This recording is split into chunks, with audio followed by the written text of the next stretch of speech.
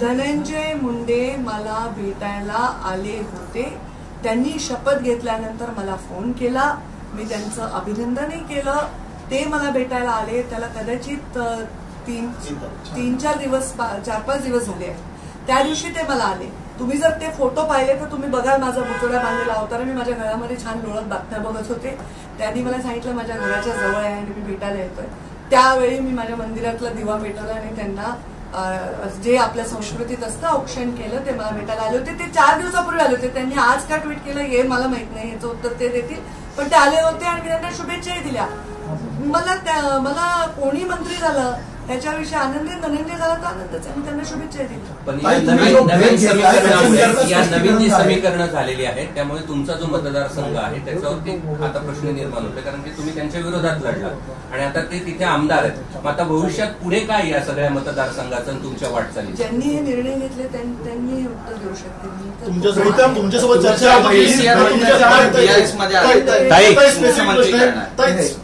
ताई, स्पेसिफिक प्रश्न. तुमच्यासोबत काही चर्चा झाली होती का? तुम्हाला विश्वासात घेण्यात आलं. हे आता मी हे सांगते ह्याचं उत्तर मी देऊ शकत नाही. पक्षामध्ये एक हारारकी आहे. पक्षामध्ये एक व्यवस्थित मांडणी आहे ते लोक त्याचं उत्तर देऊ शकतील मी त्याचं उत्तर देऊ शकणार नाही? मी तुमचे उत्तर देते फक्त. ताई पुढचा प्रश्न आहे असं स्पष्ट केलेलं आहे? विषयावर विषय. आहे. ताई ताई तुम्ही ब्रेक घेते असं सांगितलंय पण नेमकं आता तुम्ही सांगता की माझी ब्रेक समाजसेवा म्हणजे चालू मी राहील. सुट्टी घेणार राजकीय काम चालू आहे. राहील मी का? सु- हो ऑफकोर्स सामाजिक काम माझं चालू आहे. ज्या भूमिकेत माझं चालू आहे आता मी हे सांगते की मी एक छान निवांत सुट्टी घेणार आहे. माझ्या मुलाला घेऊन मी कुठेतरी सुट्टीवर जाणार आहे. सोशल मीडियामध्ये मी आहेच आहे काय तुम्हाला काय अपेक्षा की जा- जाऊ दे का? जगा मी एक ब्रेक ह्याच्यासाठी घेते की मला या सगळ्या राजकारणात ब्रेक हवाय तुम्ही माझा विचार करा ना.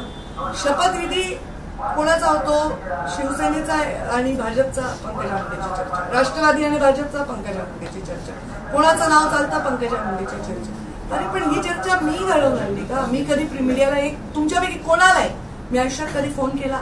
तुमच्यापैकी कोणाला मी बातम्या लावायला सांगितल्या? तुमच्या कधी एडिटरला मी कधी कोणाला फोन लावून सांगितलं? हे लावा ते लावा.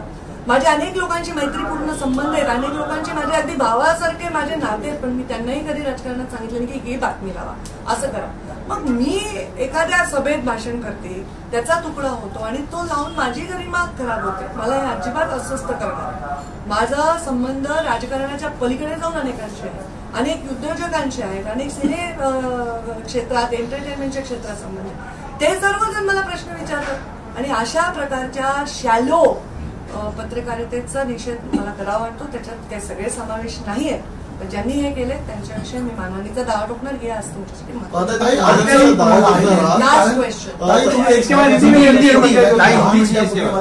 तुम्हाला सांगण्यात आलं की तुम्ही फॉर्म भरलेला मागे घ्यावा तुम्हाला तशा प्रकारची उमेदवारी विधान परिषद देण्यात आली होती. नेमका कुणाचा निर्णय होता? आणि नेहमी